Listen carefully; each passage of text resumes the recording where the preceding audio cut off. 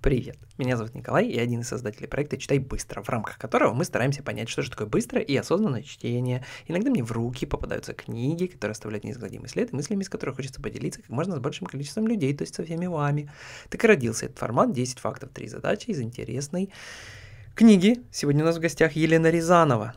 «Никогда не будь, как выйти из тупика и найти себя» русский автор. Подобного не случалось давненько, и мы в «Читай быстро», как обычно, все пропустили. Книгоманы уже э, как пару лет читают и обсуждают э, книгу Елены про то, как перестать ходить по кругу, наконец-то найти себя в этом бренном мире, а мы вот только добрались. Рязанова — это Self-Realization Strategist, как написано в хедере ее персонального сайта, э, стратег в области самореализации, если по-русски, и автор двух книг «Никогда не будь» и «Это норм». Э, не в том смысле, что норм, что книга называется «Никогда-нибудь», а это вторая ее книга, так называется. «Это норм». Совсем свежая, кстати, вышла в издательстве буквально дней 10 назад. Э, возможно, скоро появится у нас на обзоре. Скажу сразу, «Никогда-нибудь» эта книга на один спокойный вечер, максимум на два. Перечитывать особо не захочется, но прочитать нужно. Прочитать в том числе для того, чтобы попытаться разобраться в себе и в том, что делает вас счастливым. Э, очередная, в хорошем смысле, книга в плеяде похожих, э, похожих таких книг Дайте себе честный ответ на вопрос, делаете ли вы что-то отличное от нуля, чтобы быть счастливым и завтра, и послезавтра, и всю оставшуюся жизнь. И вот это и будет самый хороший итог прочтения этой книги. Вся книга никогда-нибудь в двух предложениях. Не смейте откладывать жизнь на потом.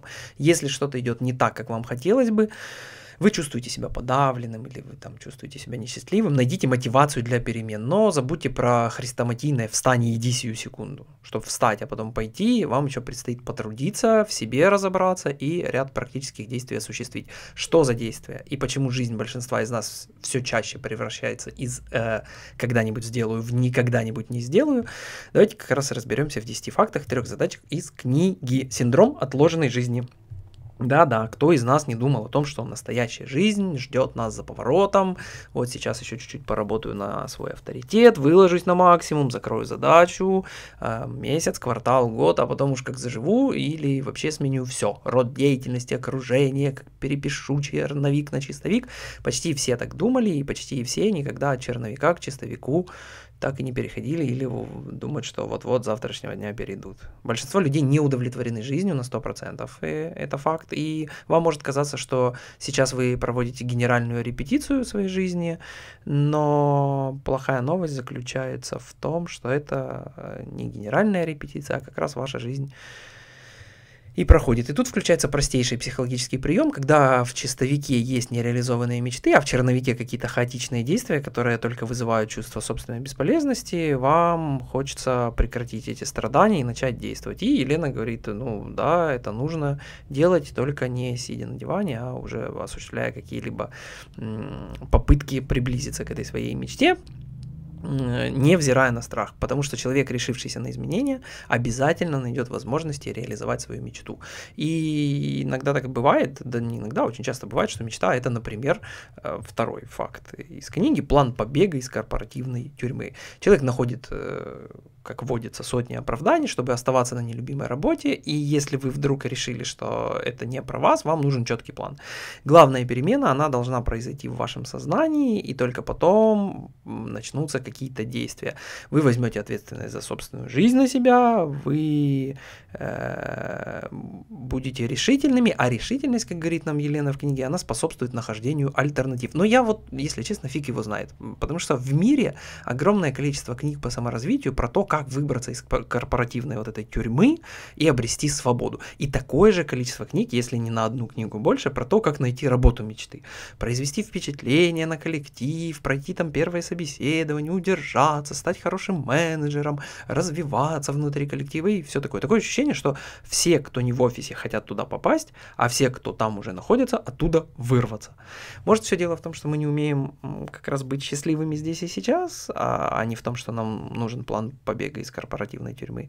И может, все дело в том, что вырываться ни из какой тюрьмы не нужно. И Лена, кстати, нам про это подаст еще знак в следующих фактах. А для начала, перед тем, как вырываться из этой тюрьмы, ответить на вопрос, что делает тебя конкретно вот тебя счастливым. И как добавить этого счастливого побольше в свою жизнь. Даже хотя бы э, начать с банальных денег. Вот сколько денег нужно для счастья? Третий факт из книги. Э, очень многие думают, что для новых свершений нужны деньги. Э, и поэтому э, и вы, и я, и все мы откладываем перемены на будущее, ссылаясь на то, что у нас отсутствует капитал. Но это неправда, потому что самое ценное, что есть у нас с вами, это время. И ожидая какие-то финансовые улучшения в перспективе, мы теряем более ценный и значимый ресурс. Да, деньги, в общем-то, тоже важны, но, э, как говорится, дорога ложка к обеду. Если вы потеряли кучу времени для того, чтобы накопить м- какую-то сумму денег и думаете, что это вам сильно поможет, то нет, наоборот, вы гораздо более ценный ресурс растратили, а какой-то не такой ценный приобрели.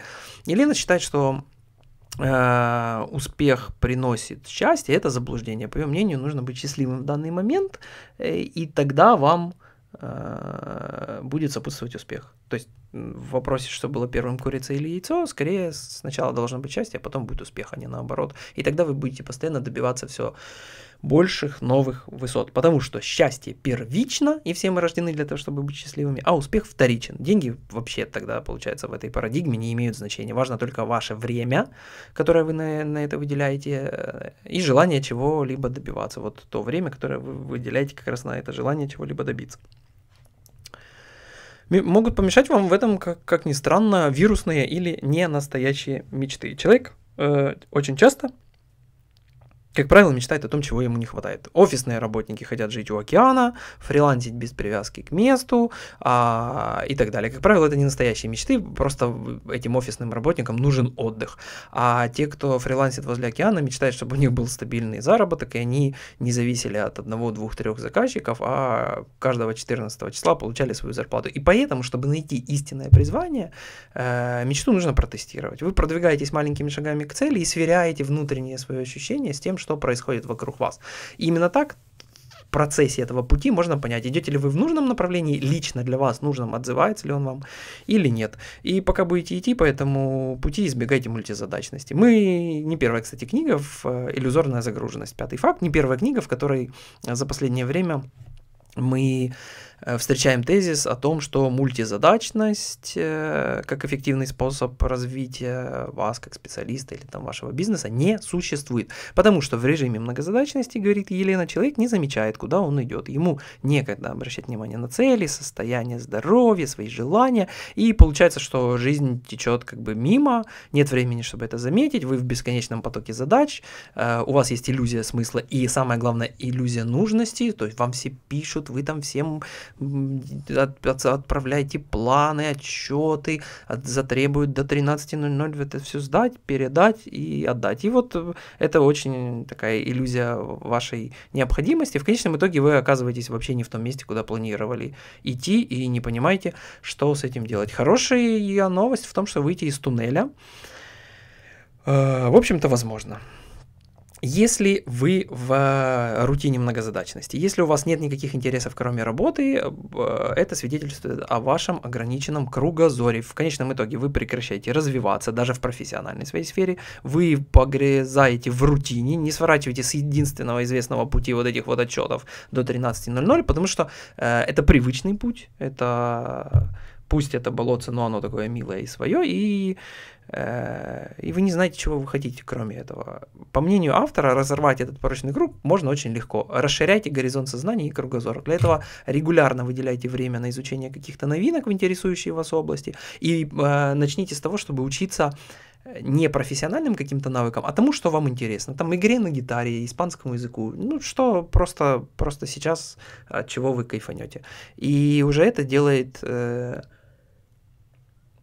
из вас человека с гораздо более развитым кругозором, а следом начинаете учиться в профессиональной своей стезе какой-то, и благодаря этому станете лучшим профессионалом. При этом помните, что время гораздо более ценный ресурс, чем деньги, чем любой другой, и не разменивайтесь по мелочам. Рязанова говорит, что под э, оправданием реалистичности люди ставят мелкие цели. Ну, то есть, э, чтобы, не дай бог, не испытать горечь поражения, придумываем себе маленькую цель и абсолютно точно ее достигаем. Это как раз говорит о недостатке амбиций, и претенциозные долгосрочные цели э, которые кажутся нам невозможными здесь и сейчас, они, как ни странно, придают нам гораздо больший э, заряд энергии, потому что, когда мы достигаем посредственную мечту, мы получаем такое же аналогичное удовлетворение посредственное. А настоящая цель, она должна быть значимой, интересной, захватывающей.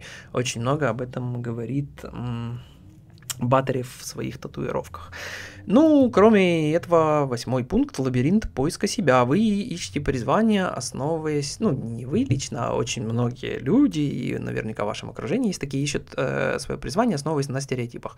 Самые распространенные стереотипы, которые нас заманивают в лабиринт. Это, например, Э, призвание должно быть только одно. Если мы пришли работать на завод в 18 лет, мы должны с этого завода выйти на пенсию. Или таланты проявляются с детства. Если уж чего до 20 лет не научился делать, то нечего и соваться. Или счастье где-то далеко, и его еще нужно добиться. Или все должно получиться сразу, и никто не хочет бегать в долгую и этим всем заниматься. Вспомните любые тренинги по личностному росту, вы уже через 3 месяца должны показать результат x10, иначе вы никто никто и ничто. Э, при этом Рязанова осуждает самокопание. Она говорит, в лабиринте разума э, можно заблудиться, и поэтому сделайте что-то интересное для вас, выходите из зоны комфорта, учитесь, познакомьтесь с новыми людьми, э, помните, что вот это призвание, оно не должно отвечать конкретным критериям полезности, оно должно делать вас чуточку счастливее, значит лучше.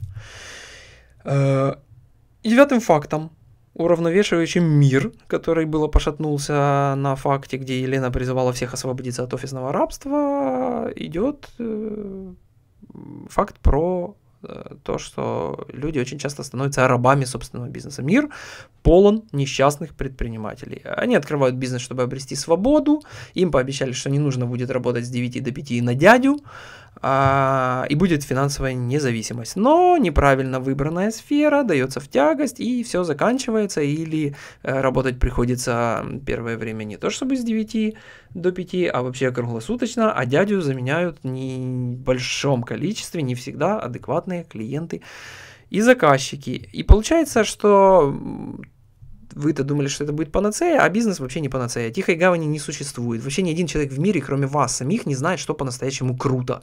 Проводить время с коллегами, выполняя свою работу, бегая на перекур там, и обсуждая последнюю серию какого-нибудь какой-нибудь «Игры престолов» или другого любимого сериала. Или посреди ночи принимать груз от поставщика, Параллельно в Телеграме ругаться с бухгалтершей, нанимать сотрудников, э, размещать объявления, настраивать контекстную рекламу и э, пытаться понять, почему вам забанили страницу в Фейсбуке. Вот только вы решаете, что вам больше нравится. Счастливым может быть и бизнесмен, и наемный сотрудник. Любая работа может быть в любом формате, э, приносящий счастье. Этот факт мне очень близок и нравится. Ну и бизнес и хобби. Э, очень интересный тезис про то, что ну, нам всегда говорили, что лучшие и самые живучие бизнесы вырастают или из каких-то проблем, с которыми вы столкнулись, и никто не смог вам их решить, и вы решили, о, да, раз не существует решения, а конкретная проблема существует, дай-ка я ее решу. Или из хобби. То, чем вам было интересно заниматься, и вы такие, хопа, и сделали из этого бизнес. У Елены впервые встретил такой вот тезис. Хобби дает положительный заряд эмоций, и в этом его основная сила. А, но а, оно не всегда наполнено смыслом в том плане, что может перерасти в бизнес. Просто вам нравится что-то делать, фотографировать, проводить время с животными и так далее. Если вы переводите любимое дело в бизнес, вам может не хватить смысла, то есть может не хватить емкости этого хобби, может не хватить... Э, ну, в общем, вы и хобби потеряете, и бизнес не приобретете. И поэтому Елена советует для начала не делать кардинальных каких-то изменений, а поэкспериментировать с хобби на безопасной территории. Ну, например, не уходя с основной работы, а пытаясь по чуть-чуть зарабатывать там и смотреть, насколько у вас это все Получается, такие вот быстрые 10 э, фактов. Сейчас будут три задачи, они будут в букноте записаны и из букнота прочитаны. Букнот это такой блокнот для осознанного чтения, лучший подарок в преддверии новогодних праздников для любого книголюба, книгомана, любого любителя нон-фикшн литературы. И там очень удобно все разлиновано, выписываете факты, на основе фактов формируете задачу. Букнот помогает в нейронным связям обработать информацию, полученную из книги, отложить ее, структурировать и запомнить еще лучше, чем если бы его не было. А когда вы формулируете из каких-то прочитанных фактов задачи и потом их внедряете в своей жизни, то жизнь становится еще чуточку лучше, еще чуточку веселей, а вы немножко счастливее. Мои три задачи задачи персональные из книги никогда не будет. Первый выход из туннеля через обучение, записаться на винные курсы и разобраться в модной нынче биодинамике. Такие биодинамические вина. Второе. Отменять параллельные задачи, двигаться только последовательно, решая одну задачу за другой. И третье. Философическое. Счастье вот оно, идти никуда не нужно, остановись и вдохни, но чтобы завтра было еще лучше, сразу после этого беги за настоящей, а не вирусной мечтой. Это был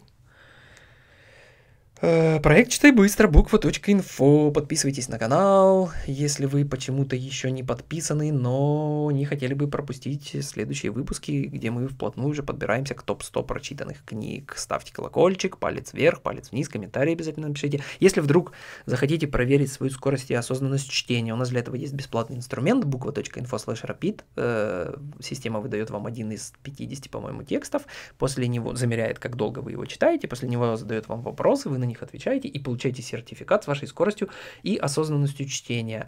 Если вам интересна тематика осознанного чтения, софт-скиллы, развитие памяти, мнемоника, всякое эмоциональные интеллекты и прочие тайм-менеджменты, то приходите к нам на блог. Тут же можно почитать про блокнот для осознанного чтения, про наши рабочие тетради, смарт-конспекты. Много всякой полезной информации, которая обновляется прям по нескольку раз в неделю. Ну и инстаграм буква.инфо, куда же без него. Увидимся через неделю или, может быть, уже даже в ноябре 2020 года. Новый я, новые вы, новая книга. Читайте книги, слушайтесь маму. Хорошего вам дня. Пока.